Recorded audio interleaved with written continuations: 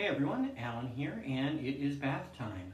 I am in my bath, and I read a very interesting article about uh, weddings. Weddings are on the decline. People aren't getting married anymore, they're just staying friends. So, sound off in the comment if you know anyone in your family who's been married or is planning on getting married, or if they're just going to stay friends. I think it's uh, both both make sense. You could do either either or, or both.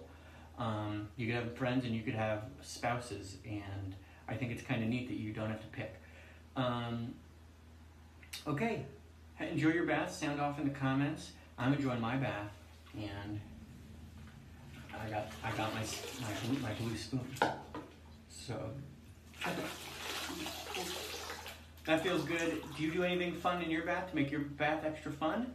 Uh, uh, comment about it, but don't. But just say thanks, Alan, because I don't care about any any of the other stuff you guys are posting. Uh, all right.